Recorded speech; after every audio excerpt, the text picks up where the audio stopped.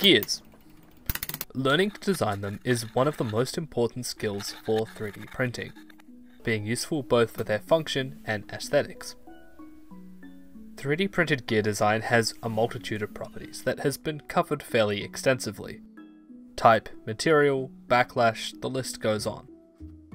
One thing that I haven't seen looked at, however, is size. And I thought that would be a useful reference for people to have, hence me making this video. In spur gears, size is defined by module. A designer might change the module for a variety of reasons, but in my experience, usually it's simply because I want a mechanism to fit into a smaller space.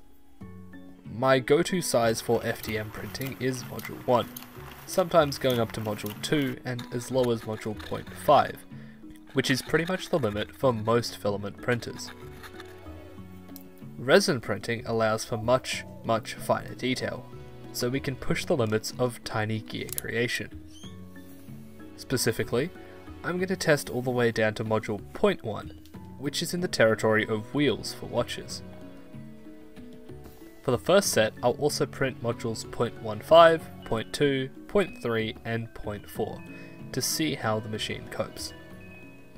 The machine in question is a Mars 5 Ultra, which Elegoo kindly provided me with to do these tests.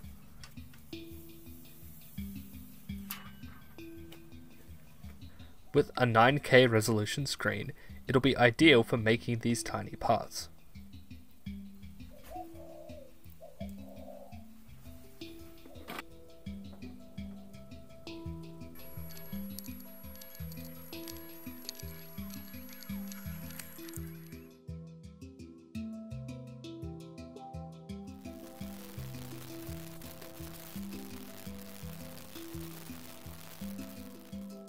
And here are our tiny gears.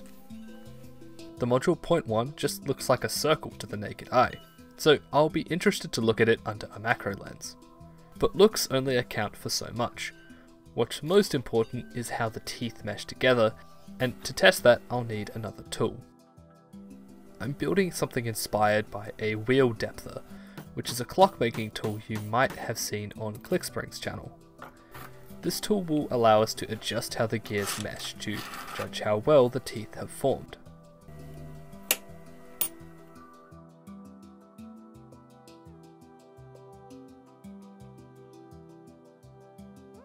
Okay, with that set up, let's see how these gears perform.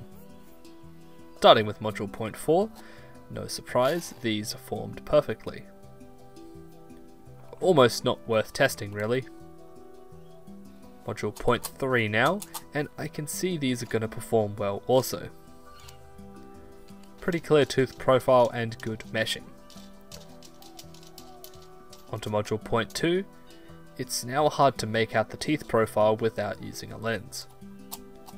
However, they're still meshing nicely, but the small resin debris is starting to become a bit more noticeable. Onto the last two sizes. To me these look just like circles, but I can feel there are teeth formed. We can see in the slicing software that in theory they should be there. Down to 0.15, we're essentially done at this point. The gears are still meshing and turning, but the teeth are very much bumps. And at module 0.1, a similar story, but the bumps are even more exaggerated. They're kind of meshing, but they're just really bumps rather than teeth now. Not good enough to be reliable. And so that's how the gears all stacked up. In a sentence, I would say that you could print as low as module 0.2 while maintaining an okay tooth profile. Of course, these are not super strong. I'd like to give some numbers on teeth breaking strength, but I just don't have the equipment at the moment. Thanks again to Elegoo for providing me the printer. I think it takes the cake for the easiest printer I've ever set up. I didn't even read any guides or manuals, and it still printed perfect without touching any settings. Thank you to my patrons, and to you, as always, for watching.